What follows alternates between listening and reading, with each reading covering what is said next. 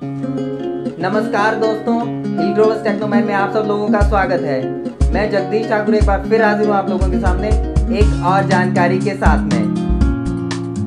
दोस्तों, हम सभी लोग जब भी मोबाइल खरीदने जाते हैं तो उसका कैमरा कंपैरिजन ज़रूर करते हैं और इस बात का ध्यान रखते हैं कि उसका कैमरा ज़्यादा से ज़्यादा मेगापिक्सल का हो।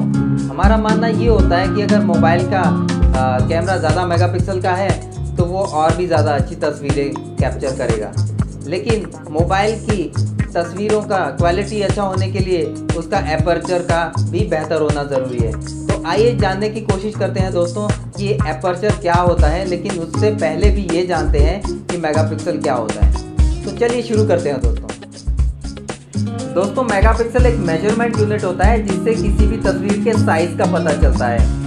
हमारे फ़ोन का कैमरा जितना ज़्यादा मेगापिक्सल का होगा, वह उतनी बड़ी तस्वीर कैप्चर कर सकता है और उससे एक बड़े पेपर पे प्रिंट करने से उसकी क्वालिटी ख़राब नहीं होती है। लेकिन पिक्चर की क्वालिटी मेगापिक्सल पे निर्भर नहीं करती है।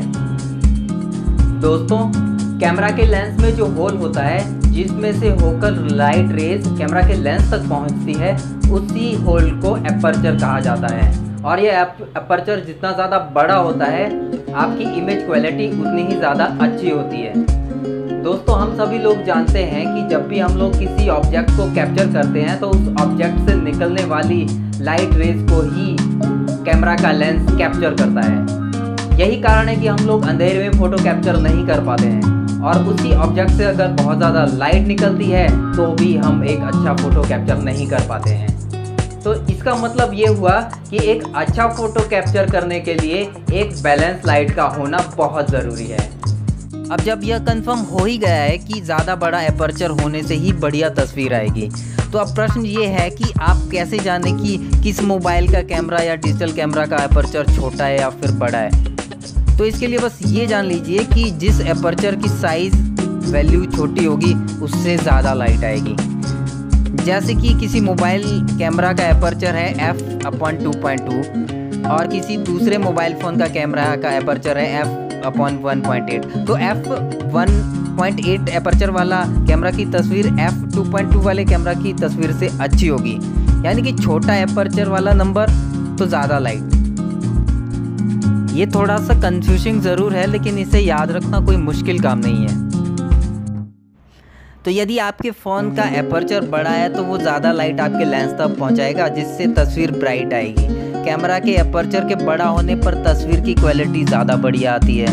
एपर्चर के बड़ा होने से तस्वीर के कलर ज़्यादा ब्राइट दिखते हैं। एपर्चर के बड़ा होने पर ऑब्जेक्ट को फोकस करके बैकग्राउंड को ब्लर किया जा सकता है, जिससे ऑब्जेक्ट बहुत ही बेहतरीन दिखाई देता है।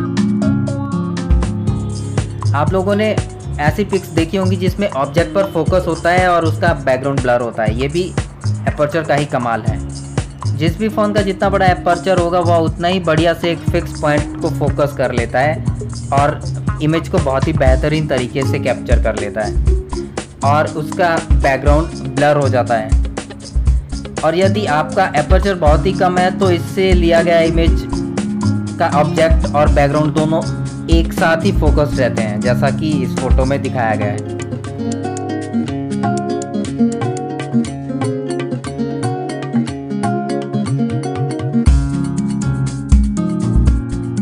तो इसका मतलब ये हुआ कि एपर्चर के बेस पर ही आप दो डिवाइस की आपस में तुलना कर सकते हैं, या फिर एक मोबाइल फ़ोन या डीएसएलआर के कैमरा क्वालिटी में कंपैरिजन कर सकते हैं। तो दोस्तों, अब तो आप लोग समझ ही गए होंगे कि सिर्फ़ मेगापिक्सल के आधार पर आप किसी कैमरा को बढ़िया या घटिया नहीं कह सकते। तो दोस्तों, आज के लिए बस इतना ही। ऐसी ही वीडियोस को देखने के लिए सब्सक्राइब कीजिए हिल ग्लोबल टेक्नोमैन जय हिंद, जय भारत।